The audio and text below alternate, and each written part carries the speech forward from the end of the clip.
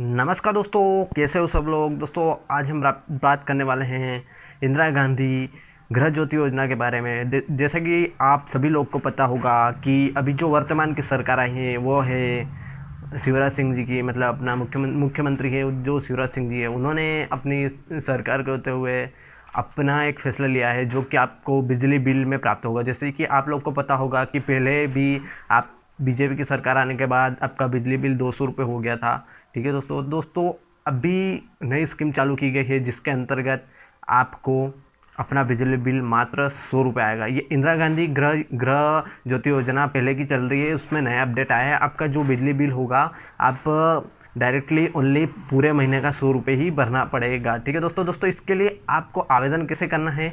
मैं आपको तरीका सिखाऊँगा कि आपको आवेदन किस तरीके से करना है। पहले मजदूरों को देखते हुए सरकार ने इस योजना के अंतर्गत ये योजना चालू की थी, इंदिरा गांधी गृह ज्योति योजना।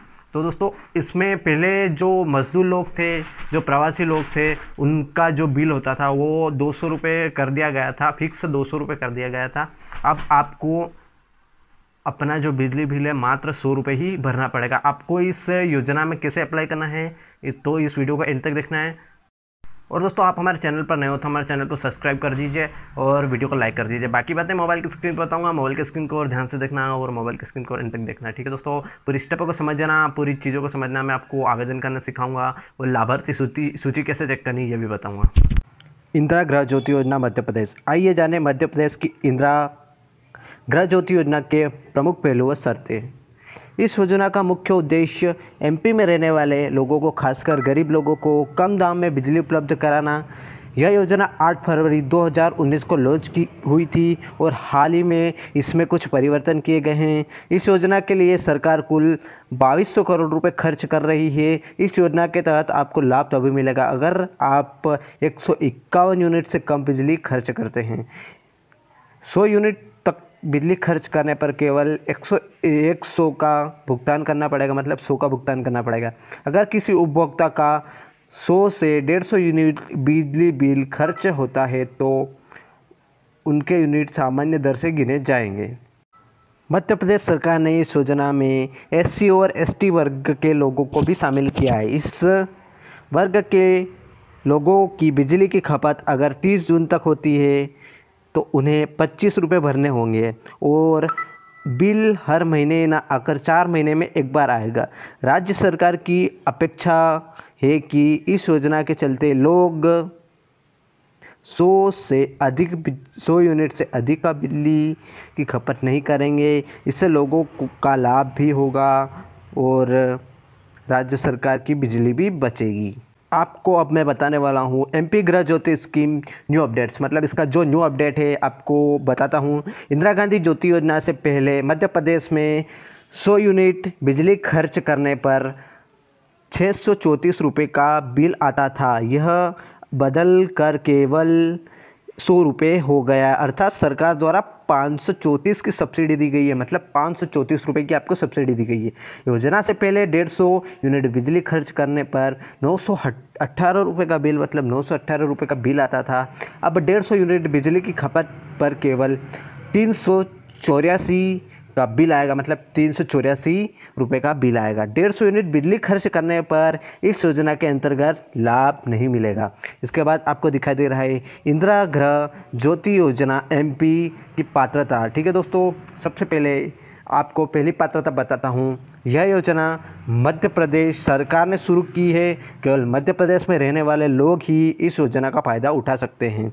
मध्य प्रदेश में रहने वाले सभी जाति, धर्म, समुदाय और वर्ग के लोग इस योजना में शामिल है। इस योजना के अंतर्गत कोई भी भेदभाव नहीं किया जाएगा। उसके बाद थर्ड पॉइंट सरल बिजली योजना और जन कल्याण संबंध योजना के लाभार्थी भी इस योजना में सम्मिलित हैं। पुरानी योजनाओं को बंद कर दिया गया है। ठीक है दोस्तों दोस्तों, इसके लिए आपको अब नीचे दिखाई दे रहा है, इंदिरा गृह ज्योति योजना, मध्य प्रदेश आवेदन के लिए ज़रूरी दस्तावेज़। अगर आप इस योजना का लाभ उठाना चाहते हैं तो रजिस्ट्रेशन के समय आपको कई ज़रूरी दस्तावेज़ों को जमा करना होगा। बिना दस्तावेज़ों के आप इस योजना का लाभ नहीं उठा पाएँगे। आपको फ़र्स्ट पॉइंट बताता हूँ। पहचान पत्र। लाभार्थी को पहचान पत्र के रूप में ड्राइविंग लाइसेंस, आधार कार्ड या वोटर आईडी की फ़ोटोकॉपी जमा करानी होगी। आपको सेकंड पॉइंट दिखाई दे रहा है। बिजली बिल अनुक्रमांक संख्या। आवेदन करते समय आपको अपने बिजली बिल की अनुक्रमांक संख्या से जुड़ा दस्तावेज़ जमा कराना होगा।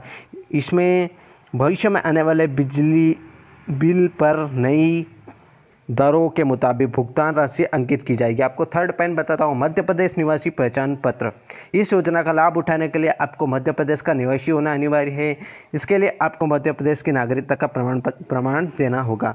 उपभोक्ता श्रमिक पंजीयन कार्ड। इस योजना का लाभ उठाने के लिए चयनित लोगों को उपभोक्ता श्रमिक पंजीयन कार्ड की फ़ोटोकॉपी भी जमा करानी होगी। अब हम बात करते हैं इंदिरा गृह ज्योति योजना अप्लाई मतलब ऑनलाइन रजिस्ट्रेशन फॉर्म 2020 आपको इसमें फॉर्म कैसे अप्लाई करना है? लोगों का काम आसान करने के लिए सरकार ने ऑनलाइन आवेदन पत्र निकाले हैं। जैसे कि आप देख सकते हो ऑनलाइन आवेदन पत्र निकाले हैं। ये आपको एक वेब पेज ओपन करा हुआ दिखाई दे रहा है। ये वेब पेज है। ठीक है दोस्तों? दोस्तों, आपको सबसे पहले मैं बताता हूँ, आपको फ़र्स्ट पॉइंट बताता हूँ। मध्य प्रदेश के लोग इस योजना के लिए तैयार हो गए हैं। आधिकारिक वेबसाइट पर जा, जाकर आवेदन दे सकते हैं, जो कि आपको यहाँ पे दिखाई जाएगी सेकंड नंबर पॉइंट में, जो कि मैं आपको डिस्क्रिप्शन बॉक्स में दे दूँगा, वहाँ से जाकर इस पर विज़िट कर लेना। इस लिंक पर क्लिक करने से योजना की आधिकारिक वेबसाइट मतलब जो योजना की आधिकारिक वेबसाइट होती है, जो कि आपको पहले भी पता होगी या नहीं हो तो यहाँ से मैं आपको अपने डिस्क्रिप्शन बॉक्स में दे दूँगा, वहाँ से विज़िट करना है। इस पेज पर आपको योजना से संबंधित फॉर्म मिलेगा। आप देख सकते हो। फॉर्म भरते समय ध्यान रखिए कि आप जो जानकारी दे रहे हैं बिल्कुल सही हो, अन्यथा आपका फॉर्म स्वीकार नहीं किया जाएगा।